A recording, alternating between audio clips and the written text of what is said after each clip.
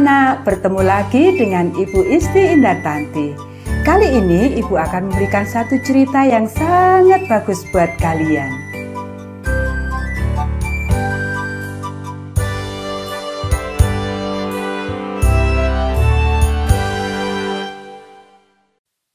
Bisikan lembut Allah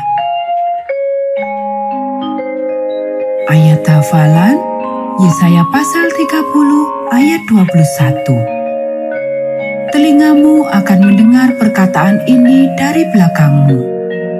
Inilah jalan, berjalanlah mengikutinya. Pekabaran pelajaran ini Aku akan mendengar pada bisikan lembut Allah.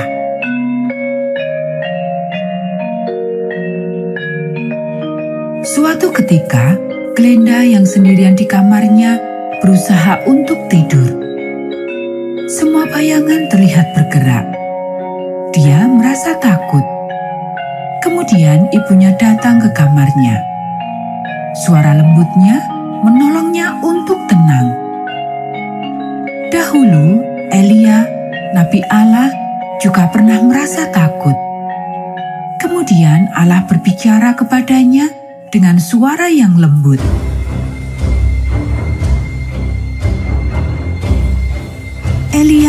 Melarikan diri agar dia selamat. Istri Raja Ahab, ratu jahat Isabel, sedang berusaha untuk membunuhnya. Elia melupakan semua perkara ajaib yang telah diperbuat Allah baginya. Dia telah lupa bahwa Allah dapat melindunginya dari ratu yang jahat itu. Sebagai gantinya, selama 40 hari dia berlari ratusan mil menuju ke padang gurun. Akhirnya dia tiba di Gunung Horeb, gunung suci Allah. Di sana dia bersembunyi di sebuah gua.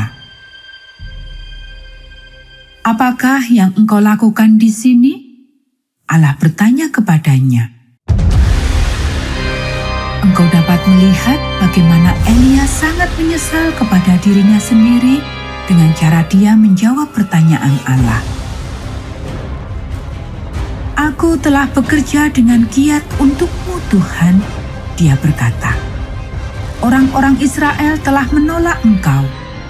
Mereka telah menghancurkan mezbahmu dan membunuh nabi-nabimu aku satu-satunya yang tersisa, dan sekarang mereka sedang berusaha untuk membunuhku juga.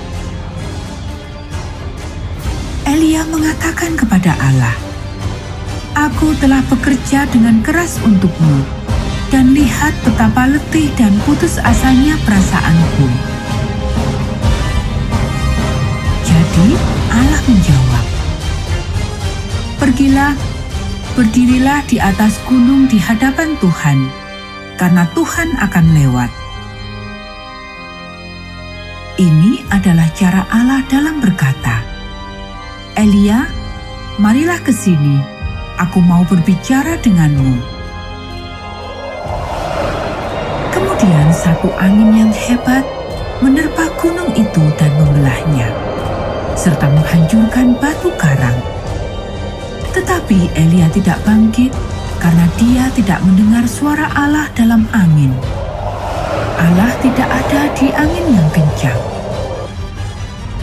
Kemudian gempa bumi melanda gunung itu. Tetapi Elia tetap tidak bangkit.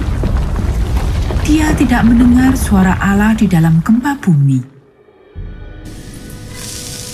Setelah gempa bumi, maka datang api yang sangat menakutkan. Tetapi tetap Elia tidak mendengar suara Allah. Allah tidak ada dalam angin, gempa dan api.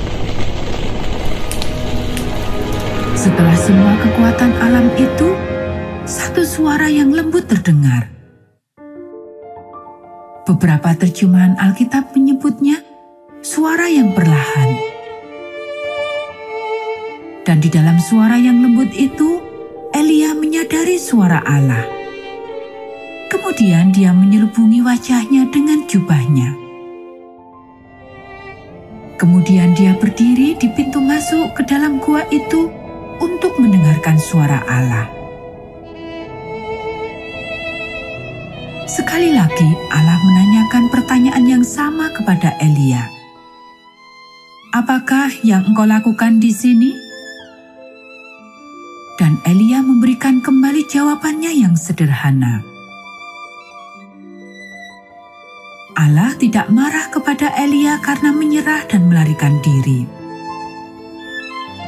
Tidak marah karena Elia lupa untuk percaya kepadanya. Suara lembut Allah membicarakan tentang kasihnya. Allah mengasihi Elia, bahkan ketika dia membenarkan dirinya sendiri.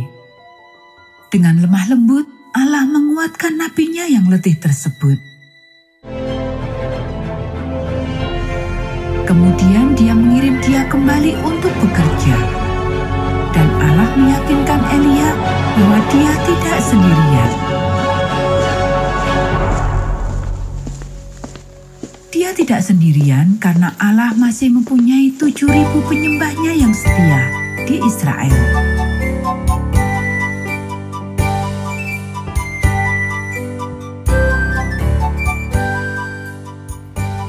Nah, anak-anak, demikianlah cerita kita pada saat ini.